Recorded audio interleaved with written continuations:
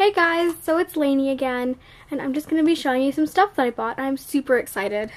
So I'm just going to get these super adorable little uh, pumpkin lanterny lighty things out. And now I'm going to be adding these starbursts to that.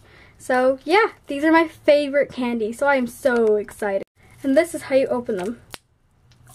Or maybe not. Maybe you're supposed to use scissors.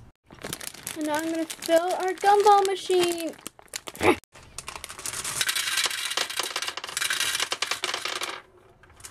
Oops. Well, you're probably wondering what I'm going to do with this stuff. I mean, like, kind of weird, not necessarily all that food related. But I will show you in a second. And oh, look, there's me. Anyway, so yeah, I will show you.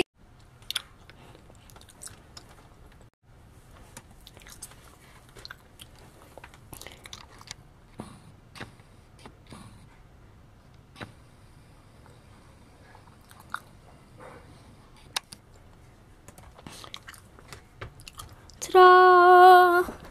Look how cool that is. I just added a minion. I love the minions. I think this is going to be my favorite part. I just love the minions and Starbursts and cupcakes and I just love this so much. So uh, now I'm just going to like decorate with these because these are so cute. Yeah. All done. And so I added some cat stickers and they're just so cute. I love how they have like a witch hat one and they have like a pumpkin one. I just love how they go on my wall too. So uh, I just have to do some candy and some bats and then I'll be...